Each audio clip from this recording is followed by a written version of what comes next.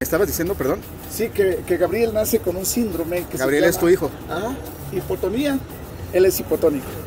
Y me preguntabas qué, qué es hipotonía. Y pues bajo hipotonía son músculos. Él cuando nace a los 20 días llevaba 5 operaciones de 20 días de vida. O sea, es impresionante eso. Entonces un día que lo llevo a rehabilitación, nos pasan a una plática y este, pues la da un teólogo. Y este amigo entrando nos dice, señores, a partir de este instante está prohibido creer en Dios. Todos nos quedamos, "Ah". Entonces, este, estaban instalando sus instrumentos, su, su proyector, su computadora. Y dice, vamos a ver este video. Dice, déjenme el pensamiento que les nació ahí. Déjenlo. Ahorita lo discutimos. Y este, y corre el video.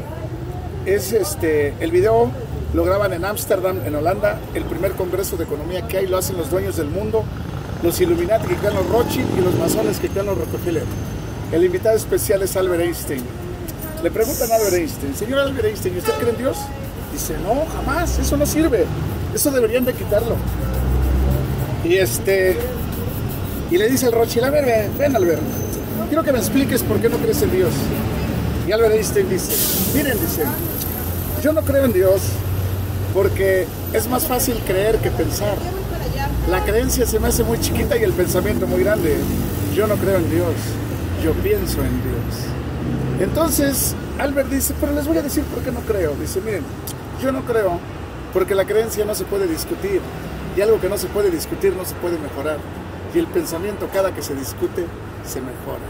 Pero vamos a ver, una persona que cree está aquí en la tierra, pero su creencia aquí se queda. El pensamiento lo activas, se va al universo, al infinito. Y es cuando tienes contacto con él. Pero la creencia, dice, es tan mala que la creencia, toda la gente que cree, cree y espera. La gente que piensa, piensa y actúa. Yo prefiero pensar y actuar que creer y esperar. Por eso dice, cada que hago algo, no estoy creyendo que Él me va a venir a ayudar, no, yo estoy pensando que Él lo está haciendo conmigo. Y la creencia, dice, la creencia se me hace muy ambigua. La gente solo cree cuando lo necesita. Por eso los pueblos creyentes crecen muy poco y los pueblos pensantes se desarrollan enormemente. ¿Me lo pasas?